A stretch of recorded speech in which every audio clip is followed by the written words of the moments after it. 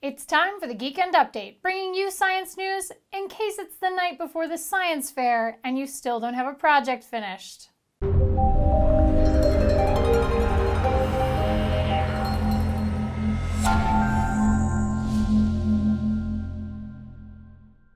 Welcome to the Geekend Update. I'm your host, Ashley Esqueda.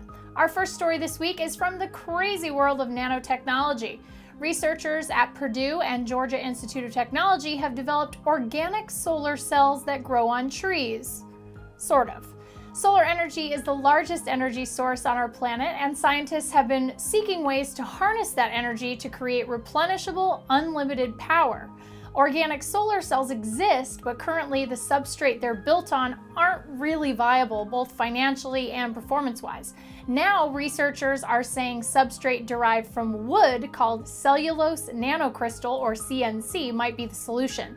The published paper is incredibly complex, but generally, CNC dissolves in room temperature water after 30 minutes of exposure, leaving behind solar cell membranes, and it can potentially be reused to build more organic solar cells later.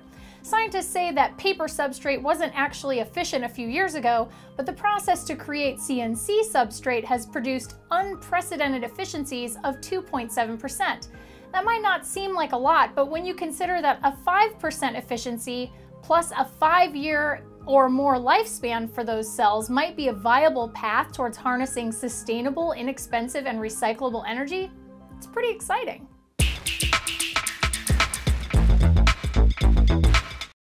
For those of you dreaming of your very own invisibility cloak, we've seen lots of stories in the last few years about military research being done to bring that concept to life. And some demonstrations have been done, but with bulky devices that defeat the cloak's intended purpose. Recently, though, researchers at the University of Texas at Austin announced they developed a cloak that's only micrometers thick. They're also saying the cloak can hide objects from microwaves in their natural environment from all directions and by all observers. An 18 centimeter long rod was used in the demonstration and it was undetectable by radar. So how did they do it? By using a new ultra thin layer called a metascreen comprised of strips of copper tape attached to a super thin flexible polycarbonate film we see by light waves bouncing off of objects and reporting back to our eyes. So previous attempts at cloaking tech used bending waves around an object as the way to make it invisible. This cloak uses the metascreen to cancel out those waves, making even asymmetrical objects likely able to be hidden. It's obviously not ready for prime time as it only works in microwave light, but we'll be keeping an eye on it as it develops. Or not, because it's invisible.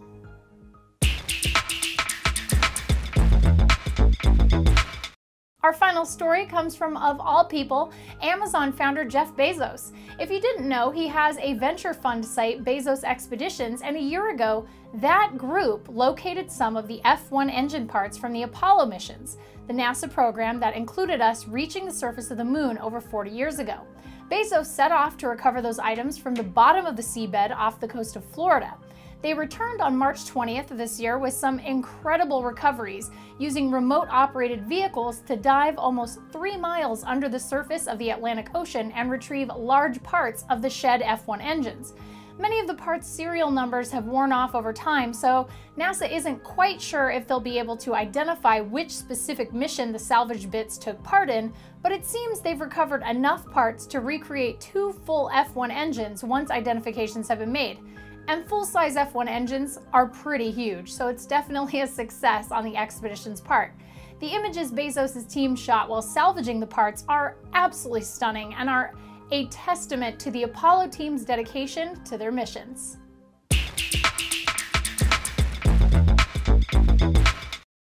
That's it for the Geekend Update here at The Escapist. Send over your favorite science stories to the email address below, and feel free to suggest fun ideas for our intro as well. We'll be back next week, but until then, we'll see you around the space-time continuum.